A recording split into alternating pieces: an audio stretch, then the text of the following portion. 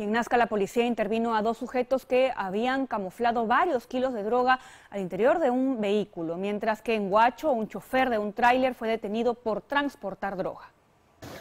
Durante el último fin de semana, los agentes de la Policía Nacional dieron un duro golpe contra el tráfico ilícito de drogas en distintas partes de nuestro país.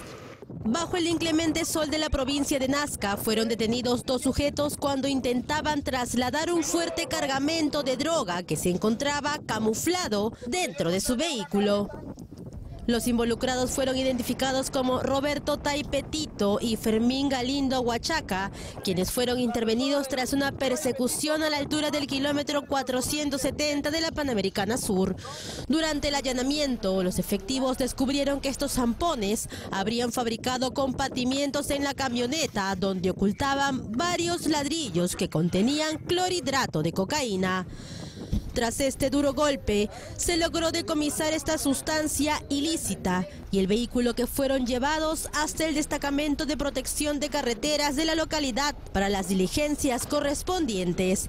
En tanto, Roberto Taipe y Fermín Galindo fueron puestos a disposición de las autoridades para las investigaciones.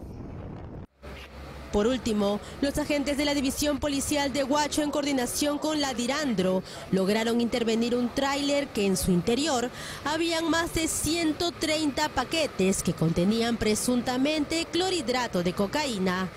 Este operativo se realizó tras un gran trabajo de inteligencia de las autoridades, quienes lograron la captura del chofer de esta unidad, quien sería natural de la región Ancash, la Policía Nacional mantiene la hipótesis de que esta droga tendría como último destino el continente europeo.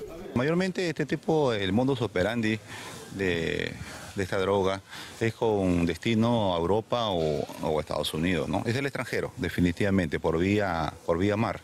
La persona detenida permanece en las instalaciones de la sede policial de la ciudad mientras se realizan las investigaciones. El mal clima